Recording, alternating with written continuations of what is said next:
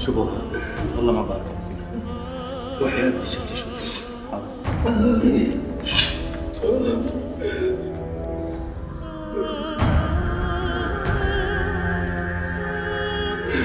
سيادة المقدم أنا داخل عليك. بوز رجليك طول بالك يا عم قل لي شو القصة خير شو في؟ أنا والد العزام والد العسام يا أهلا وسهلا فيك تفضل. أنا مأمور مأمور يا سيادة المقدم وأنا مستعد أخلي كل الناس تدعس على شيبتي ساعدوا ساعدوا ساعدوا بوس إيدك بوس إيدك. طول بالك يا عم طول بالك. تفضل تعال معي تعال. سلامات. أهلين أستاذ. مسيك يا شريط. بتحط ال promotion أربع خمس مرات وبالنشره بنحط كامل. شكرا عينك أستاذ. خلي بين البرومو والثاني ربع ساعة لأنه باقي ساعة وربع للنشرة. okay أستاذ.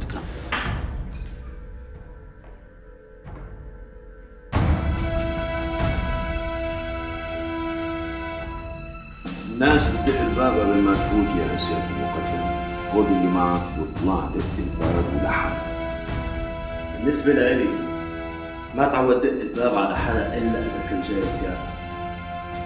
أنا جاي أقول لك إذا في حدا بيكون ضعيف بدق بابك. عيب عليك تتقوى عليه. عندي شغل إذا لو سمحت. بالعادة أنا ما بكتب حكي بعد شوي رح تقول له لهذا الزلمة تفضل اشرب قهوة وشغلتك رح نحل قلت لك ماني فاضي. طيب. معناتها مشان موضوع حريق امبارح الساعة واحدة ونص أنا راح أحكي مع رئيس الفرع باعتبارك عارف قريب شو؟ إذا بدك أحكي قدام العالم بحكي بس إذا بيني وبينك راح تطلع بعد شوي نادي على أبو عزام. تعزم على اطلع واقف برا أنت عند الباب بس بدي اياك تحكي معك اطلع حاضر سيدي. عمي أبو عزام خليك واقف جنب الباب ولا تتحرك. عاوزك بعد شوي. أمرك.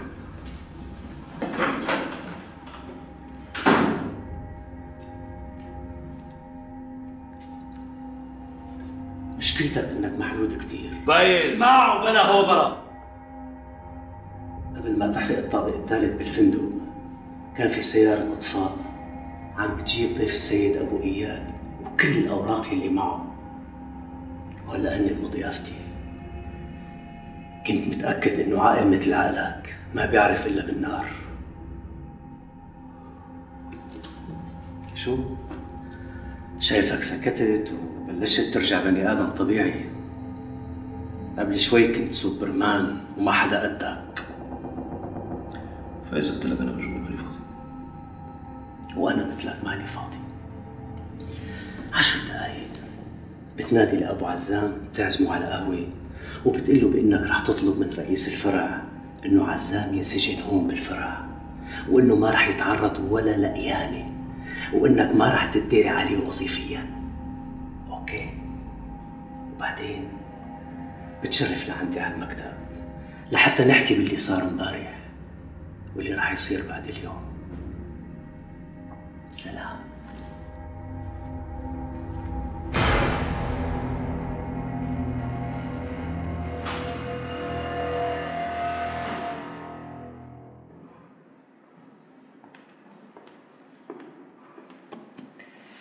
واقف قدام مكتب سيادة المقدم وإن شاء الله الموضوع منتهي. إلهي يا سيدي. لا تحكي ولا كلمة يا أبو عزام. عزام مثل أخي وأنت مثل أبي. تفضل. إن شاء الله بالحال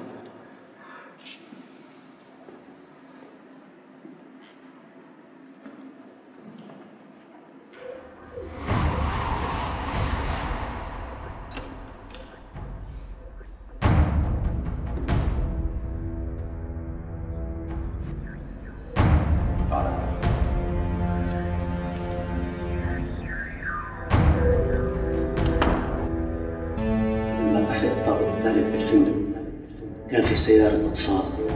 عم بتجيب ضيف السيد أبو إياد وكل الأوراق اللي معه. وهلا هن مضيافتي كنت متأكد إنه عاقل مثل عقلك ما بيعرف إلا بالنار. سيدي ما بتخيل اللي عم يصير معنا. والملائكة عم تساعدنا. ما في شيء بنحاول نفكر فيه إلا بنلاقيه محلول ومن العيال إليها وابعت لي ابنك لحتى نحل الموضوع. تبعه سيدي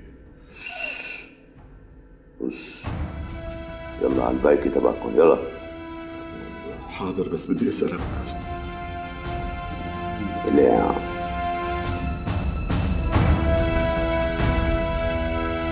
ماشي يا صلاح الكلب. سامحتك بالخيانة الأولى بس هالمرة إذا توفقت ونفدت القصة على خير. رح خلي شهاداتك كلها ماركة بوية جديدة. ماشي.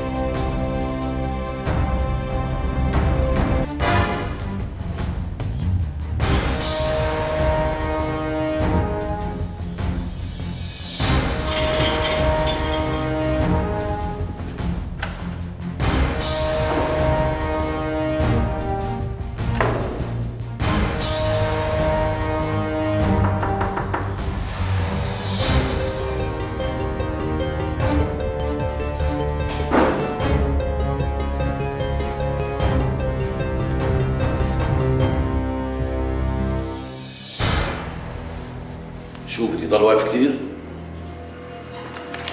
فيك تقعد.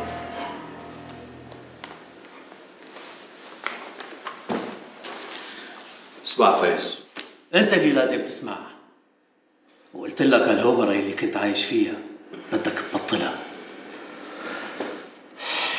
لأنه مرضك صار بده علاج. مو مشانك. لا والله.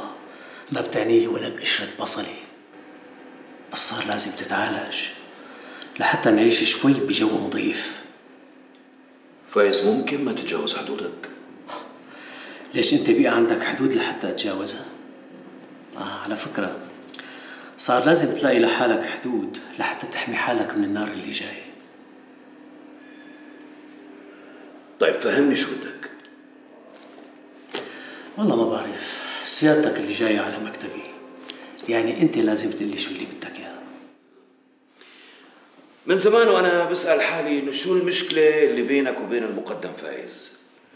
الحقيقة ما تذكرت إنه في شيء صار بيناتنا بيستاهل كل هالعداوة. بالآخر نحن مو اعداء هلأ ما بنستظرف بعض يمكن. بس ما حلوة نصير علكة بتم اللي بيسوى واللي ما بيسوى. لهيك جيت لعندك أنا فايز. جيت لعندك لأنه ما بصير نضل عم نتصارع على شيء ما بيستاهل. معك. حق ما في شيء بيستاهل كرامات الناس أرزاقهم والبلد واللي عم بصير فيه بنظرك ما في شيء بيستاهل فايز أنا جاي لعندك. أنت ما فيك إلا تجي يا سيادة المقدم وللتوضيح أنا ما في خلاف شخصي بيني وبينك. يعني ما أنا مختلفين لا على أرض ولا على بيت. خلافي معك طبيعي. بيشبه أي خلاف بني آدم طبيعي مع الشيطان. شيطان أي الشيطان؟ وأنا اخترت هالمفردة البسيطة لحتى أعبر لك عن إحساسي اتجاهك واتجاه أمثالك. طيب أنت شو بدك فهمني بدي البلد تنظف. وأنت اللي بدك تنظفها؟ ومن مين يعني؟ من مين ما عاد تحكي مثل الأول. أنا ما عاد فيني أتحمل طريقة كلامك. وأنا شخصيا ماني حابب أقول لك إنه أنا مشغول وماني فاضي. مثل ما قلت لي وجيت لعندك على المكتب أنا وأبو عزام. لك شو يعني؟ شو يعني؟ شو بدك تنتقم مني؟ بدك تهيني بدك يعني اترجاك قبل ما ترفع صوتك مرة تانية حب ذكرك إنك بمكتبي. فايز عيب عليك اللي عم تسويه. عيب علي أنا؟ إيه. أمر غريب. يا سيادة المقدم هذا الوسخ اللي عم يحميك صارت رقبته بيدي. فايز أنت عم تحكي عن سيدنا؟ سيدك لوحدك. أنا ما بقبل أكون سيد على حدا حتى لو كان بمنصب كبير. الشيء الوحيد اللي بيعنيني هو ضميري وأنا ضميري ما رح يرتاح حتى أفضح كل شيء. أنا ما بعرف ليش عم تحكي عنه بهالحدة. إيه لا بتعرف؟ لو ما كنت بتعرف ما كنت حرقت الفندق امبارح. أنا ما حرقت شيء. وبدك تلعب معي كمان؟ فايز اسمعني منيح. إذا هذا الموضوع تبع العسكري بيهمك اللي اسمه عزام أنا مستعد سامحه نهائيا وأطوي الموضوع ولا كأنه في شيء. بالأخير في كرامات بيناتنا يعني. العسكري؟ يعني كل شيء قلته ما سمعت منه ولا حرف؟ لك يا أخي سمعت سمعت. أنا جاي لحتى أعمل اللي بدك إياه منيح هيك؟ لا مو منيح. وموضوع العسكري بده ينحل اليوم قبل بكرة رغم إني بعرف حجم غلطه. الاصعب عندي. سيدك أبو إياد وأمثاله المسخين. فايز قسما بالله ما بعرف شو عمل ابويا لكن ليش حرقت الفندق؟ وكنت بدك تحرق الملفات تبع صهيب مين صهيب رجع يراوغ. والله العظيم عم بقول لك. قسما بالله ما بعرف لا صهيب ولا غيره. اللي صار معي امبارح ما بينحل إلا بهالطريقة. بدك أحكي لك وأنت قرر.